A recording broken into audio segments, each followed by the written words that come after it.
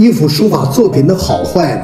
人们经常会用字字有出处来评判，但是不是用软件把字都查出写法，去严格的临，就能写出好的作品呢？其实不然。学古是必修课，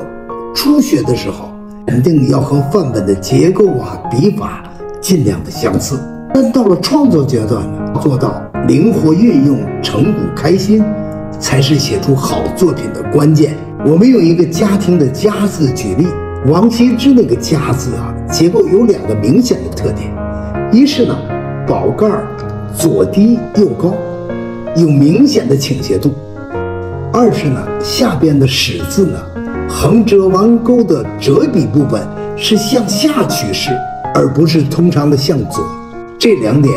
是“家”字结构的基本特点。后世有很多的书家都在学王羲之的字。却没有写出和他完全相同的效果。每个人呢，都会把这个字呢，根据作品上下文的需要，写出自己的特点，从而形成了不同的面貌